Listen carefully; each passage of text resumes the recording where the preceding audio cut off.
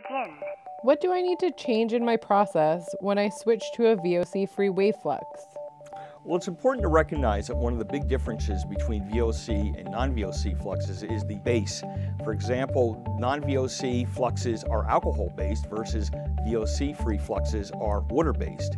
And hence, one of the things we're trying to accomplish in the preheat is that we have to go above the boiling temperature of the base of the flux. So, as an example, in non-VOC free, we're talking 90 degrees centigrade, whereas for VOC free, we're typically want to attain about 110 degrees centigrade. What happens if I have an insufficient preheat? If we don't attain the proper preheat temperature, we're going to get all kinds of undesired side effects. And this could include splattering, solder balls, insufficiency, things along those lines. And this applies to both wave soldering and selective soldering.